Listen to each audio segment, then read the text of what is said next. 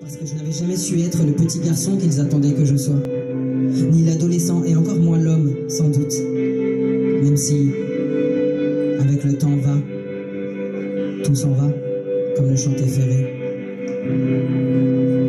C'était peut-être pour ça que j'avais poussé les portes de l'église Saint-Sulpice, ce jour-là. Moi qui ne croyais pas, ou plus, depuis longtemps.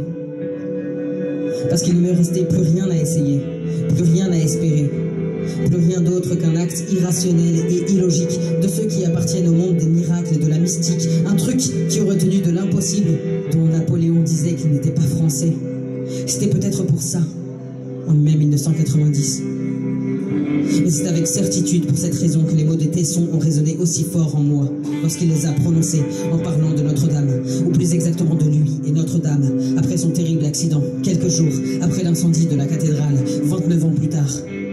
Parce que comme lui, c'était bien tout ce qu'il me restait.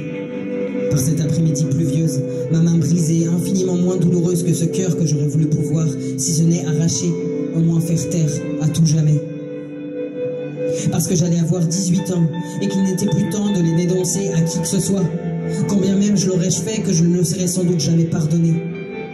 De toute façon, je ne l'ai pas fait.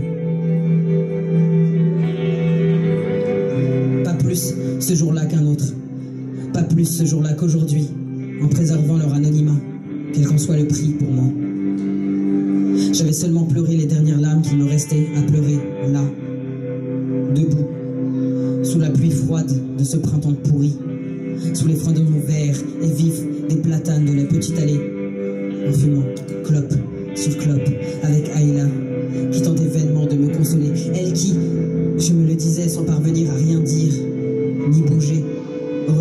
d'avoir échoué. Parce que, moi, pour ça, il n'est pas impossible que je me déteste encore, 30 ans après d'une détestation sourde et apaisée, une parmi d'autres, comme ces cicatrices ventrues dont on garde la marque jusqu'au dernier jour.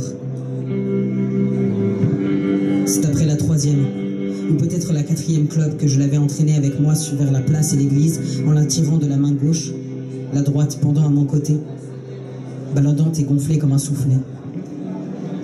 Les yeux secs, comme un ruisseau en été le cœur battant encore au rythme de ma rage, le regard vide, peut-être celui d'un fou.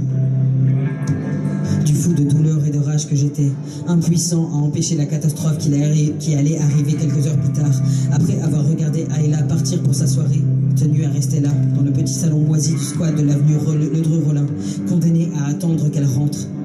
Sans doute, le lendemain après-midi, les cheveux, les visages défaits, sa chatte, son cul et sa bouche sentant l'alcool et le sperme, les yeux aussi vides que les miens à cet instant. Le cerveau encore débranché, comme je l'avais déjà vu faire, absente à elle-même et au monde, poupée de chiffon qui se laissait guider par n'importe qui, prise parfois de ce rire étrange et spasmodique qui découvrait ses dents blanches et secouait son corps lascif et sensuel que j'aimais tant. Je l'avais entraîné vers la place mais arrivé aux abords, j'avais suivi les grilles du bâtiment des impôts, comme si je ne voulais ni ne pouvais traverser cette immense place à ciel ouvert, cherchant l'ombre, comme on cherche un abri, en terrain ennemi. Peu plus loin, dans la rue Palatine, cette petite rue latérale par laquelle presque personne ne passe jamais. Il y avait une porte qui à l'époque était toujours ouverte. Là, où l'homme qu'on surnommait alors le SDF le plus cultivé de Paris prenait ses quartiers la journée, lui auquel mon père me comparerait bientôt, me promettant le même avenir, lorsqu'après la grève de 1986, j'avais continué à sécher les cours et que pour la première fois, il y en a eu tellement d'autres par la suite, plus personne n'avait su comment me ramener, tant en cours qu'à la raison.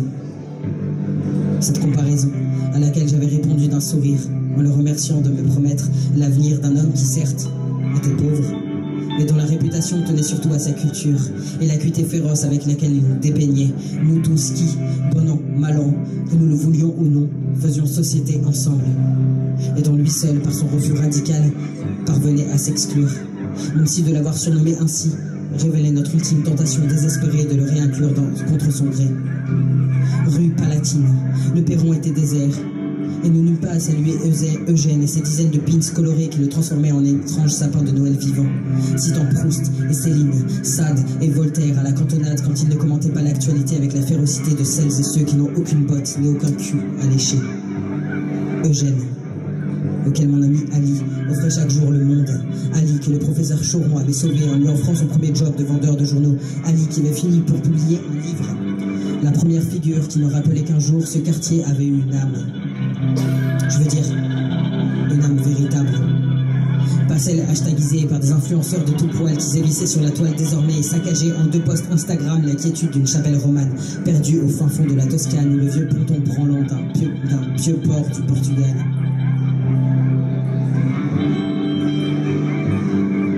Lorsqu'Aïla m'avait demandé ce que nous faisions là, je n'avais pas su quoi répondre.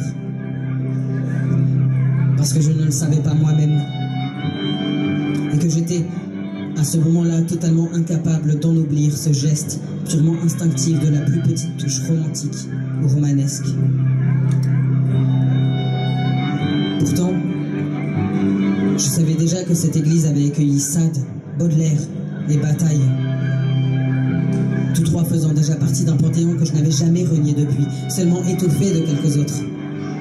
Mais curieusement, ce jour-là, dans cette urgence qui me bousculait, ce n'est aucun de mes totems littéraires qui m'a secouru. Seulement cette peinture de Delacroix, que j'étais frénétiquement venu chercher, sans savoir ni comprendre cette gigantesque lutte avec l'ange, au pied de laquelle je m'étais arrêté avec Eila qui me tenait toujours la main. Devant ce, duel, devant ce duel titanesque qui avait toujours lieu, alors que nous levions nos yeux vers lui, à mon maudit, fils monstrueux, ayant ne serait-ce que pensé à lever la main sur sa mère, amant misérable, qui allait laisser la plus belle part de lui-même, partir rejoindre cet enfer séculaire et terrestre dont il n'ignorait rien.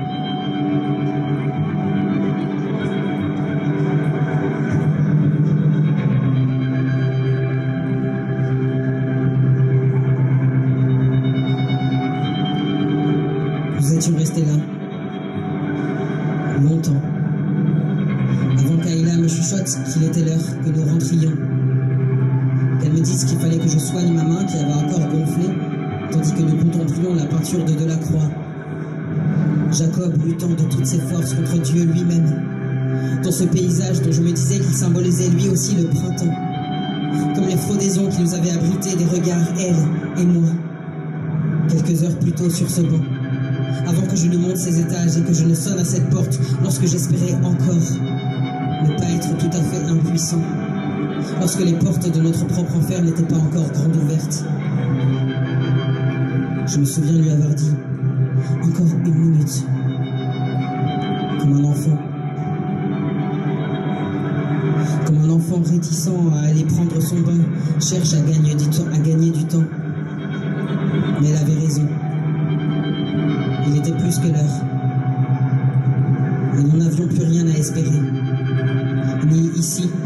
de cette gigantesque fresque murale, ni dans cette église.